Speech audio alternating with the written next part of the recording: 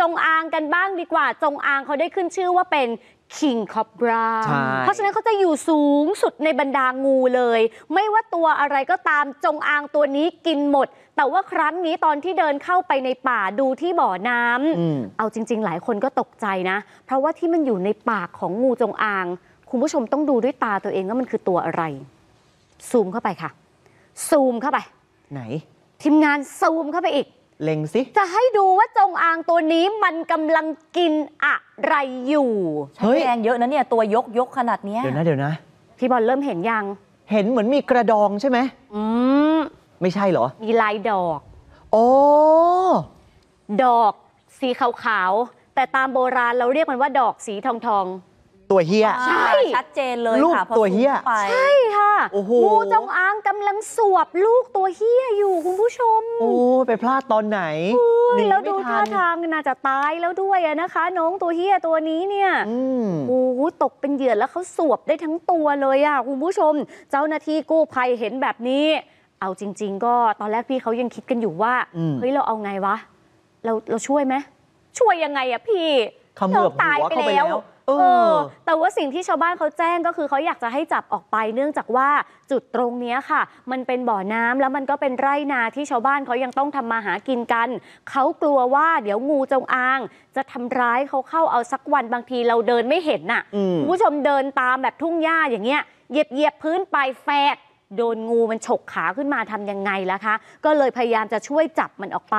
นี่คือบ่อน้ำกลางสวนทุเรียน ในพื้นที่หมู่ 5ตำบลลำทับของจังหวัดกระบี่นะคะ จงอางตัวนี้ก็ไม่ได้ใหญ่ไม่ได้ยาวมากสักประมาณ 3 เมตร โอ้โห เฮ้ย มองจากไกลๆเขาดูเหมือนไม่ใหญ่ เขาดูตัวไม่ใหญ่แต่เขายาวพี่บอล อ๋อ เรียว แต่ระดับถ้าเขมือบ ลูกตัวเฮียได้ก็ไม่ธรรมดา ไม่ธรรมดา อันนี้ก็น่าจะเริ่มแบบว่าโตแล้วนะคะอืมโดยเจ้าของสวนชื่อว่าคุณสมเภาคุณสมเภาบอกว่าก็เข้าสวนมาทำงานเนี่ยแหละ ก็มาสูบน้ำเพื่อเอาไปรดต้นทุเรียน ปรากฏว่าพอสูบปั๊บเฮ้ย อะไรมันไหวๆอยู่ในน้ำอืมมองไปเห็น โอ้โห ตอนนั้นที่ตัวเองเจอเนี่ย ตัวเฮี้ยมันยังหนีอยู่เลยนะคะ คือลูกตัวเฮี้ยมันยังว่ายน้ำหนีอยู่เลย แต่ว่าในระหว่างที่เจ้าหน้าที่กว่าจะมาถึง สิ้นท่าเรียบร้อยอืมโดนสวบเลหัวยเข้าไปอย่างนั้นน่ะเออถ้าเกิดปล่อยไว้อีกแป๊บนึงก็คงกินเข้าไปทั้งตัวเลยอะค่ะ แล้วก็ต้องจับออกไปไม่อย่างนั้น คุณสมเภาคงไม่กล้าเข้ามาทำสวนทุเรียนเพราะว่าเป็นกังวลน่ะนะคะอืมเดี๋ยวขยับต่อจากกระบี่ไปนครศรีธรรมราชกันหน่อยคุณผู้ชม จงอางเหมือนกันเลยค่ะไหนมันอยู่ในมุ้งฮะมัน อยู่ในมุ้ง เข้าไปแล้วเหรอ เข้าไปแล้วอุ๊ยตายลองนึกภาพว่าถ้าเรานอนอยู่กับงูอะโอ้โหคุณผู้ชมมันไม่เหมือนในฝันนะขนลุกคือในสู้ฝันเลยเขาบอกว่าถ้าฝันเห็นงูมานอนด้วยดวงจะมีคู่ โอ้โห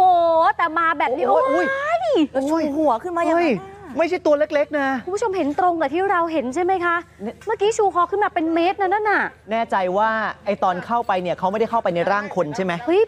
อุ้ยว่าแล้วมันจะแพงล่างยังไงล่ะพี่บอลเอโอ้อ เข้าไปยังไงวะตัวใหญ่ขนาดมันนี้ยังไม่เล็กด้วยนะเนี่ย เออ ตามรายงานบอกว่า 3 เมตร พี่กิงว่าใหญ่กว่า เออ พี่กิงว่าใหญ่กว่านะ โอ้โหเดี๋ยวรตัวอใหญ่ตอขนนาดจับนี้ออกมาหน่อยคุณผู้ชม เออ เข้ามุง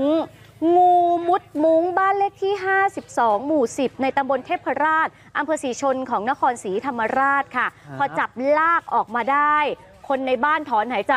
เฮ้ยเกิน พี่กิงว่าเกิน3เกิเมนตรยังไงก็เกิน 3 เมตรจริงยังไงก็เกินแน่นอนอะคุณผู้ชมโอ้โหดูจากเนี่ยความยาวและความใหญ่อะ อะเทียบจากตัวพี่กู้ภัยก็ได้ โอ้ย คนหนึงเนี่ยสูงก็เกือบ 2 เมตรแล้ว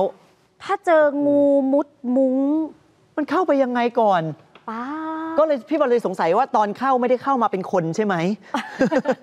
เขามาเป็นตัวงูก็เลยไม่แน่ใจว่ามุ้งเนี่ย ปกติเขาจะต้องเอาทับไว้กับที่นอนด้านล่างใช่ไม่แต่ให้บางยุงทีมุดเข้า เข้ามุดออกแล้วเราก็อาจจะลืมทับได้ไง โอ้ยเข้าไปทำอะไรโอ้ลูโหกน่ากลัวมากเลยนะคะ คือเออเจ้าของบ้านเนี่ยเขาก็ตกใจแหละคุณผู้ชมส่วนเพื่อนบ้านที่มามุงถามกันใหญ่เลย อืมงูมุดมุ้งบ้านเลขที่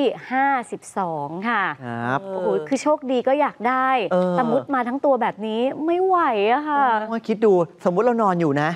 แล้วข้างๆ ขดอยู่ เออ เราหันไปปุ๊บจ้าเอ๋มองหน้ากัน อืม โอ้โห ตายหัวใจวานึกย ภาพไม่ออกเลยอะอืมหรือแบบนอนๆอยู่ เอื้อมมือไปคว้าหมัดเอ๊ะ อะไรเป็นลำๆนะ ครับอะไรเป็นเกล็ดๆนะลูบไปโอ้โห ยาวยาวจนสุดปลายมืออม ไม่ไหวค่ะ เออโอ้โหแยกไม่ขนลุออกเลยนะว่าไหนความฝัน อันไหนความจริงค่ะ ครับ เออ